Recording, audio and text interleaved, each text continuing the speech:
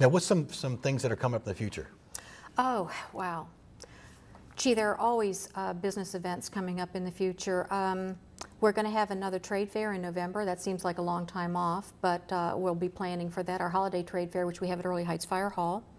Um, there again, we're going to have a Business Bites program. We're going to have a successful Women in Business luncheon uh, this month, uh, an event this month in June. Uh, and then we're going to be teaming with the Northern Anne Arundel County Chamber on a joint Women in Business luncheon on July the 9th at Carrabba's Grill. Um, September, as we look toward the end of this summer, we're going to have uh, a lot of events coming up then. It's going to be a real kickoff. Uh, we're very involved in education in our area also. Uh, uh, the Greater Severna Park Chamber started the Business Advisory Board at Severna Park High School, and I, I currently chair that.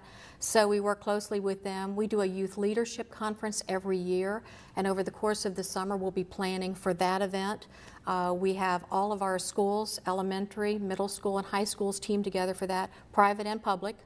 And uh, we always have a wonderful topic, and we get the kids real involved in the facilitation and planning of that event. And it's actually facilitated by area school seniors, high school seniors. Very good. Uh, so that's a project we'll be working on this summer too. So we have a lot of things always coming up. Now this Business Bites, I heard you say. Did I say Business that right? Bites, a bite of lunch and a bite of information.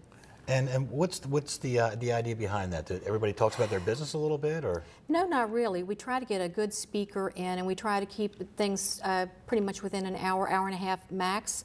And while people are having lunch, uh, they have a chance to listen to the program. And uh, we have some regulars who come every every time, and we have other people who just kind of watch for the topic. And if that topic applies to something they want to learn about or hear more about, they're there. They just register. So, you know, it's important to us to always have good information out there for businesses, to be a resource for them. Uh, could be, um, gee, our most recent uh, Women in Business program was on social networking. Real hot topic these days. Um, our next program is going to be on a, um, it's going to be a personal protection workshop so that people can, you know, keep out of trouble, and if they do get into trouble, defend themselves. And certainly keep your number handy if they get into trouble. And how to keep out of harm's way. Really Absolutely. And, and, what Absolutely. to do in case, God forbid, something like that does happen. Absolutely. But um, there again, we have wonderful resources like your department to call on if, if all else fails. And, and that brings me to my next uh, point or maybe question. I see when you're in a, in a, a part of a chamber like this mm-hmm. that you meet people that have businesses that may assist your business. Say, for example, a sign mm-hmm. company, sure. and you're opening up a new business, and you want to get some special signs made up, uh, either for the front of your business or inside, or some printing done that they may also do. So now they have, like you said, a resource that they can go to. Uh, that's that's part of this uh, this network. Absolutely, business it's, to business. Very good. Absolutely. Now you got something big coming up. Um, we do. And uh, so we'll, we'll, we'll, we'll kind of close our very first chamber, wanted chamber, wanted small business part of, uh, of Anne Most Wanted. Let's talk about what you're, what you're looking for in, uh, coming up. Well, I think you're talking about our 4th of July Parade and Festival. Absolutely. And that'll be coming up on Saturday, July the 4th. Um, our parade has been around for quite a while. It's really established in Anne Arundel County. And um, it'll be starting at St. Martin's in the Field Episcopal Church and Our Shepherd Lutheran Church, both on Benfield Road and it will proceed from there over to Cypress Creek Park, and we have a festival there.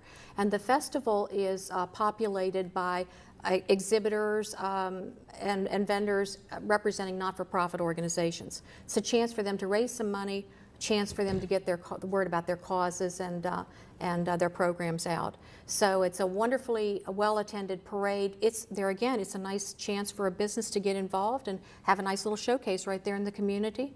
And there again, we end up over at Cypress Creek Park where we have a festival. Um, and we have wonderful food and we have lots of activities for kids, family oriented. We have entertainment.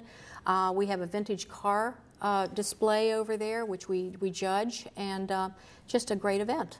I and you, I think that you're going to be there with us this year, always as are. always. Always are. Uh, Deputy Nicer driving our, uh, our new black and gold uh, sheriff's vehicle, uh, which we think is really cool looking. Okay. Uh, and of course, uh, Major Tabor and I will be in the uh, the Batmobile, which I'll be drive, which I'll be uh, in, and Major Tabor will be driving. And it's a, now we've always guessed how many people are watching oh, that wow. parade because we're driving down Benfield Boulevard, Evergreen, and, and, as we as we get close, well, we get on Baldwin Rapids Boulevard How many people are in that parade? Or how many people are watching that parade? Do you guess? Oh, thousands. I mean, I'm I- I've- sure. I've I mean, it's such a long span that it's kind of hard to judge, but the crowd is, is heavy all along the route. Yeah, I've guessed up to you know 2,500 you know people or more. Yeah, I mean, it seems right. like it's so many, and it's really cool because you see the families out there. You know, the husbands, wives, and the, the, the whole family. The, the kids are out there, Mm-hmm. and uh, it's really neat to see. You know, it is the Fourth of July parade, and It it- people are holding flags, and, and that's all. You know, really, you know, warming to the heart. But yet just to see the families still watching parades, which it's just very touching to me, and I like that. And then you get to the end of the parade, and then you're announced. You know, they say who you are, what business you're from, you know, what what agency or organization you belong Right to. down where you kind of spill onto B&A Boulevard. Earl Exactly. Schaefer is going to be our MC again this year, and he is just great, isn't he? He does a great job. Yeah. Well, Linda, thank you very much for being our first guest and an excellent Thank guest you. on our show to kick off this segment. As I